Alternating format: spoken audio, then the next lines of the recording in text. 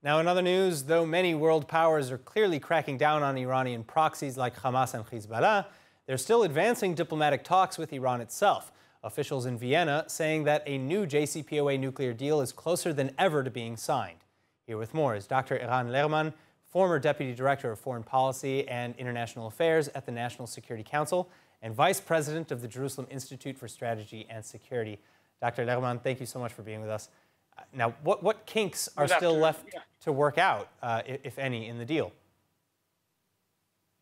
Well, um, I would venture a guess. Of course, everything is kept under very close wraps. Even uh, uh, Mr. Um, Nephew, who left, uh, slammed the door when he left, didn't actually tell us what was wrong uh, from his point of view that led him to resign from the American team. So everything is still kept uh, secret. But I would venture the guess that the problem remains the nature of guarantees that Iran keeps demanding from the United States that there will be no um, uh, retreat again from the agreement. Uh, and that would, of course, require this to be in the nature of a treaty.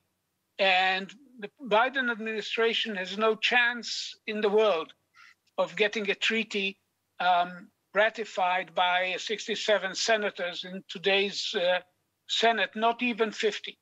In all likelihood, there will be Democrats like uh, Menendez from New Jersey who would oppose right. uh, the proposed deal. so, so, so if, um, if, Congress, if Congress votes this down, is another way to go around this problem.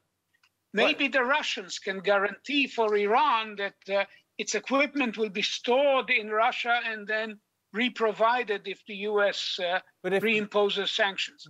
Well, so that I was going to say. But I mean, if the United States, if the United the States Ukrainian Congress situation. doesn't ratify, if the United States Congress doesn't ratify this deal, then isn't it a moot point? It sounds like it sounds like Iran would just back out of the deal entirely, wouldn't they? Well, um, the U.S. Congress, the U.S. Senate, the uh, House doesn't have much to do with treaties, but the uh, Senate will not ratify it. Period. Therefore, there must be another way, perhaps, for to guarantee mm. or to offer the Iranians some kind of uh, of uh, assurances. And maybe the Russians can play a role in that. But that, of course, is a function of the Ukrainian situation, which is uh, hanging fire. So I think this, this is a major kink still out there. Um, and uh, it could still blow everything up because what the Iranians keep demanding is something that the, uh, the Biden administration cannot provide. Beyond that, of course, we are all under the impression that uh, this is an agreement of less for less, and uh, and that the Iranian uh, um, program would be left uh, with a much shorter break, breakthrough time than it had uh, after 2015. What? And this is also quite troubling and requires Israel to retain its freedom of action. What do you think? Do you think that it's possible that Iran knows that what they're asking from the United States will never happen, and therefore they're, you know, they're asking, they're making these demands because either they do get them, which is great, or they don't, and in which case they've wasted a ton of time of, from the West and, and they've been advancing their program anyway. Is that is, is that what's happening, or do you think that, that, that they're really in this with good problem. faith?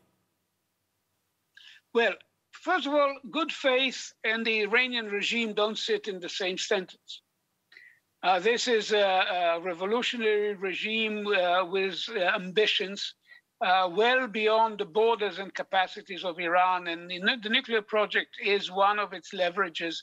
And anyone who trusts them to actually uh, give, it, give up on it without uh, very forceful action I think, is deluding uh, himself or herself in the case of some former negotiators. However, um, they are eager to get rid of the sanctions because the situation, the economic situation in Iran is getting very serious, and there are rumblings within the Iranian public, and the regime is worried. So they need some kind of relief. And so they're maneuvering to see if there's a, some kind of, uh, of a device that would give them an indirect guarantee. And I think this is what the situation really is all about at this stage. All right, Dr. Eran Lerman, thank you so, so much for joining us again today. You're welcome. ILTV Plus, your news from Israel and more 24 7. Start your free trial today. Subscribe at ILTV.tv and watch from any device.